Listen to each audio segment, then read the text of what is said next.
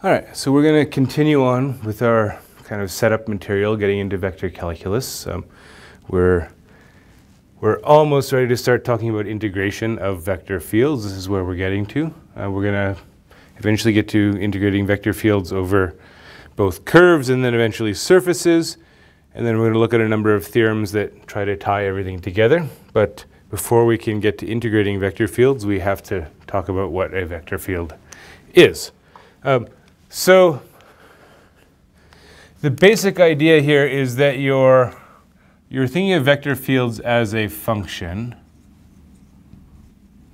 And you're thinking of a function as, well,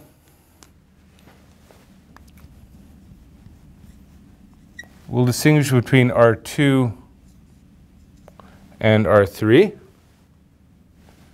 So in R2, you're looking at something like this. So let's say f of xy.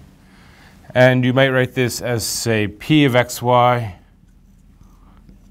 times i and q of xy times j, where p and q, so this p and q, these are just functions, right? Real valued functions. Um, generally, we're going to assume that they're um, differentiable, so C1, C2, usually at least C2. Um, I, of course, this is just the vector, well, 1, 0 or 1, 0, depending on how you like to write your vectors. Similarly, J, we're looking at 0, 1, or if you prefer, 0, 1. Generally, we're going to stick to angle bracket notation for, for calculus. If you're taking more of a linear algebra perspective, you probably use column vectors. Most of the time, we're going to use the angle vectors. Um, and, and so the other thing you could do, of course, if you like using the angle vector notation, is you could always write this as p of xy and q of xy. So you could write it like that. Um, similarly, in R3, the same sort of thing, except now we're dealing with functions of three variables. And we have vectors which are three-dimensional. So we'll have something that looks like p times i, q, and these are now functions of x, y, and z, times j and then r, x, y, z times k. Right? Now, the, the important thing to keep in mind with your vector fields is notice that you have in R2, you have two variables, and you have two components, right? In R3, three variables, and one, two, three components, right?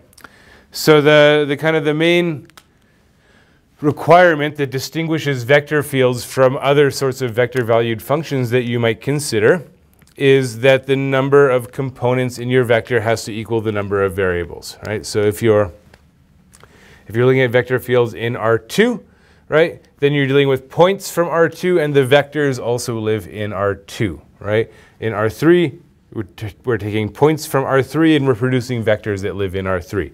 So this is not like, for example, a, a, vector parameterization for a curve where you take an input which is in R1 and you have an output which is in either R2 or R3, right? Um, here the, the dimension for, for the domain and the codomain has to be the same.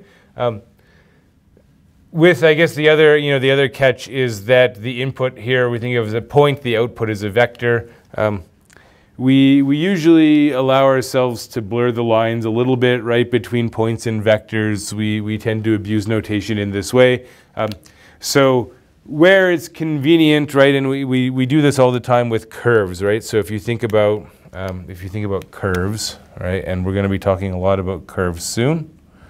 Um, so we usually write and this is just kind of an aside, it's not quite dealing with vector fields yet. But typically what we'll write is we'll write something like this. We'll, we'll write r of, of t is x of t i, y of t j, and then z of t k. So we often write this as a vector valued function, right? But then when you kind of, when you think about the curve, when you view the curve, when you picture it, you, you kind of view it as, well, you know, you have your, your coordinate system, so your three-dimensional coordinate system. And we think of a curve as a set of points, right? So we think of, okay, yeah, here's my curve, my curve C in space, right? Um, and so we view it as a set of points, even though we express the curve, we express the parameterization in terms of a vector. But there's that usual identification, which is that, well, for any point on the curve, you know, you have the, the position vector pointing to it, right? So your, your R of t is that position vector. Um, so you'll, you'll find that we tend to do this a fair amount when we're talking about vector fields. Um, we jump back and forth a little bit between, between points in R3 versus vectors in R3. Um, and sometimes we kind of, you know, as it's convenient, if it's convenient to think of something as a point, we'll think of it as a point. If it's convenient to think of it as a vector, we'll think of it as a vector. Um, and we kind of allow ourselves this flexibility. And, you know, usually this doesn't lead to confusion, right?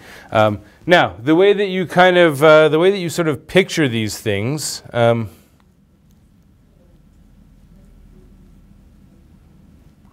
The way that you picture a vector field is that you tend to draw the vector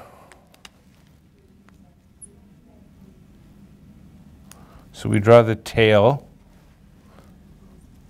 of so so a particular vector. So let's say you know x naught, y naught, z naught. You draw the tail at the point x naught, y naught, um, Z naught. That's typically what you'll see. Um, so you might get something that looks like, maybe something that looks like this. So here, here's an example in R2. Um, so we might have something like um, R, so typically when we're doing vector calculus, the letter R, um, it tends to get reserved for, well, similarly, I, I guess it's similar here, right? R tends to be always a position vector right? Um, so r of xy is, is xy, right? Over here, we think of it as a function of a single variable, which is that you know we're defining x, y, z as functions of t. We're, we're, we're parameterizing our curve. Whereas here, the input is a point x, y, and the output is the vector that, that um, you know, the position vector for that point, right? So basically what you do is, is you know, at a, at a given point in the plane, right, rather than drawing the position vector from the origin to that point, what you do is you, you put the tail at the point, right? And so you start getting some idea for what the vector field looks like, right? Uh, if you're closer in, vectors should be shorter. If you're further out, the vectors should be longer, right? Um, and I, I, mentioned already in class that uh, th these are not objects that I expect you to draw by hand. Um, vector fields are very much something that should be drawn by a computer. So it's, um, it, it, it's time consuming to draw it by hand and you always end up with a jumbled mess no matter how hard you try, right? Um, there, there are some conventions that computers tend to use to draw these to make them look a little bit better. You'll find some of these discussed in the textbook. Um, one of the things that a lot of the software will do is, is in fact, rather than putting the tail at the point, they, a lot of the programs will actually center the vector on the point. Um, so they'll put the middle of the vector at that point.